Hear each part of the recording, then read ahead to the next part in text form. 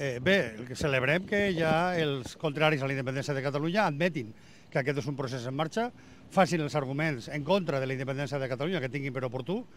Eh, no estem d'acord en absolut en pensar que Espanya no sigui viable sense Catalunya, al contrari, és a dir, tant Catalunya com Espanya són estats viables i, per altra banda, que el senyor Gallardón faci la campanya corresponent, que suposa admetre que Catalunya va cap a la independència.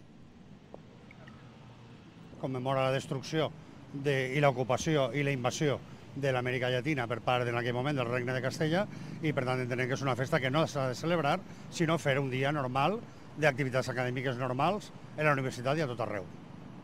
En el marc d'una manifestació antidemocràtica o en la que li han donat suport organitzacions feixistes, creiem que no pot posar-se les institucions catalanes ni les universitats públiques a